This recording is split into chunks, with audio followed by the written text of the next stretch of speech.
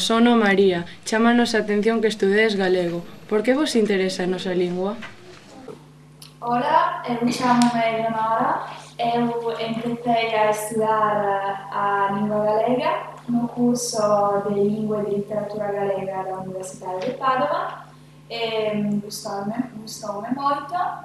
E tomei a decisão de escrever ah, no meu projeto de fim de grau. Eh, sobre, sobre este tema. E irei em Santiago de Compostela o próximo janeiro por seis ou sete meses por praticar a língua e porque por, creio que por conhecer um povo e sua literatura é muito importante conhecer também uh, o, seu, o seu idioma. Hola, chamo-me Julia. Eu estudo galego porque, como estudo linguas estranxeiras, um, ehm, interésame moito coñecer unha lingua que non é tan coñecida aquí uh, en Italia como a lingua galega. Uh -huh. Vale, eu chamome Giada e como Eleonora empecé a estudar eh, a lingua e literatura galega no curso da profesora Xema no primeiro, primeiro semestre e dado que eh, me gusta me gusta moito a literatura hispanoamericana e, e sei que moitos autores galegos foron a Latinoamérica durante a dictadura, eh, quero afondar o idioma e a literatura galega para estudar autores diferentes dos que me propoñen a miña universidade.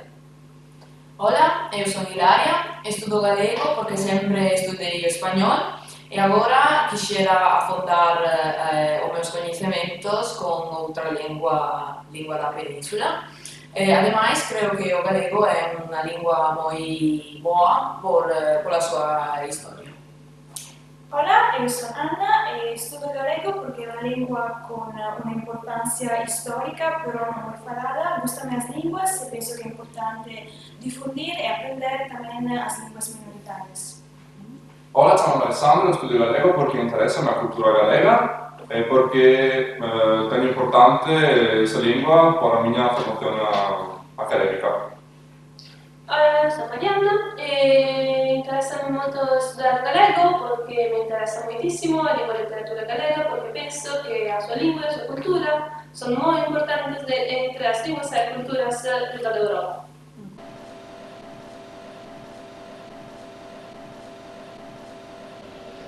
Ola, eu son Nerea, son celíaca, así que non podo tomar nin pasta ni pizza. Se viaxo a Italia, hai algunha comida típica diferente que eu poda comer? E por certo, coñecedes alguna da nosa gastronomía? Eh, unha persoa celíaca eh, pode comer sen, proble eh, sen problemas aquí en Italia, eh, todos os tipos de queixo, eh, as sobremesas sin gluten e um, os cheados, que é um doce típico italiano. Eh, en Italia podrías comer tamén uh, pasta e pizza feitas con fariñas especiais para celíacos, um, pero te aconsello tamén moitos tipos de doces, como por exemplo o tiramisú, que é un doce típico do norte de Italia. Eh, e podo dicir que na comida galega coñezo os pimentos de padrón, um, a estrella Galicia, uh, o licor café e as filloas do Entroido. Mm. Eu tamén teño algúns problemas coa comida porque son intolerante á lactosa, pero sei que existen moitos supermercados que venden eh, produtos para quen eh, ten problemas eh, alimenticios. E eu aconselleuche unha comida típica italiana que se chama carbonara eh, es, eh, é feita con, uh, con pasta, especiais obviamente, eh, con, uh, con a pancetta con a, o queixo parmesana sequeras e eh, con, uh, con ovo, pero só a xema. Da nosa comida típica, ademais, podes comer eh, as ensaladas, eh, hai diferentes tipos, pero a máis famosa é a caprese, que leva eh, mozzarella, che è un tipo di queijo, e tomate. E da vostra comida tipica io conheço eh, oliva café, eh, a torta di Santiago e o queijo com marmelo. Eu podo dizer de consultar o sito www.celiaquia.it por conhecer mais sobre a comidas e as possibilidades em Itália. Eu sou vegetariana, então conheço uh, comidas galegas vegetarianas como o pimentos de padrón e as empanadas vegetarianas e os grenos. Eh, tu pode comer o carne ou peixe da tradição veneta e pode também beber o nosso vinho, que é muito bom. Um, en Italia tenemos muchos tipos de arroces. Eh, puedes hacerlos con muchos ingredientes. Así que puedes hacer un arroz de patatas, un arroz de pimientos o, de muchas cosas. Así que puedes comer uh, muitísimas cousas así en Italia tamén se, se liega. Uh -huh. Ola, eu son Leticia. Estiveses algunha vez en Galicia? Que é o que máis vos gusta daqui? Eh, eu non estive en Galiza, pero coñezo algún, algunhas cousas eh, desta región grazas ao lectorado de lingua galega eh, no que estudamos um, os costumes galegos e os pratos tradicionais da cocina galega, da cidade de Santiago um, conheço a catedral com o Boto Fumeiro, uh, o Pórtico da Glória e a Monumento Rosalia de Castro na Alameda, um, os parques e a cidade velha. Eu non coñezo Galicia personalmente porque nunca funei, pero grazas aos cursos coñezo o seu patrimonio cultural e literario coas súas figuras como, por exemplo, Castelao, Rosalía de Castro e eh, Eduardo Bondal. Eh, tamén coñezo o Camiño de Santiago, gracias ao meu avó que o fixo, así que coñezo a cidade de Santiago, eh, coñezo a Choiva de Galicia e o himno galego de Bondal.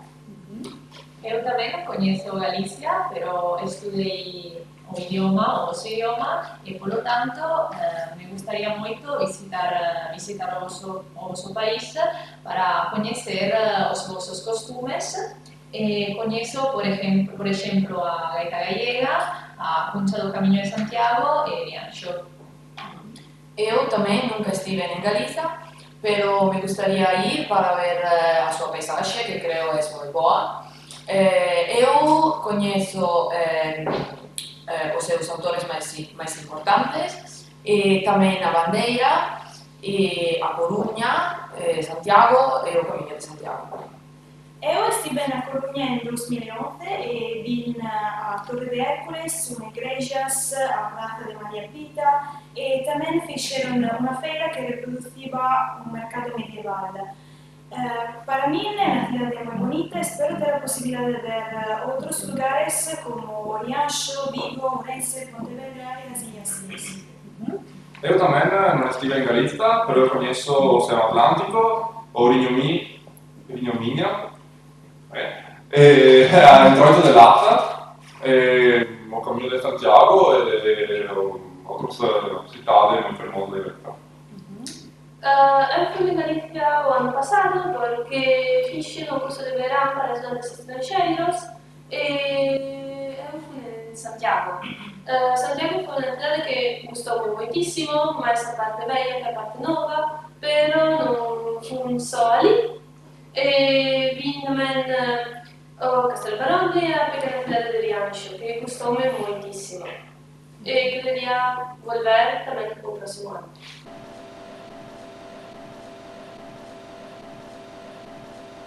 Chao, io sono Mateo. Se vou a Italia, que lugares me recomendas visitar?